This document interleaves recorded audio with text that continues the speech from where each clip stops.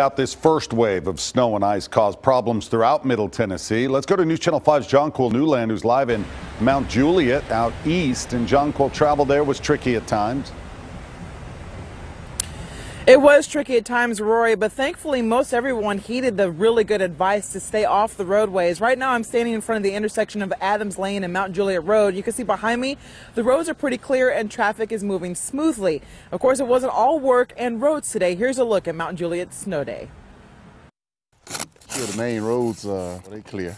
As folks in Middle Tennessee awoke to the first snow of the year and the decision whether to brave the roads or not, come out of the house. I've been retired. Mount Juliet resident Michael C. Smith began his day with a different concern. Wait till all this gets cleared out, and then I just drive on down there and get something to eat. Let me start though. I know. I hope it'll start. But first, he has to get through this layer of ice. We're struggling here, but we got it going. While inconvenient, the ice only slowed him down. He recalls last February. Oh, this is nothing compared to that. I mean, this is a piece of cake so far. The road crews, however, feel a bit differently. Just been trying to keep up for, for the breakdown and you know we have breakdowns too. Just have to get them back up. Once the truck hits the halfway point, they're back here filling it up again. run out you get in trouble you just spin like all the rest of them do. So we try to keep a little weight on the truck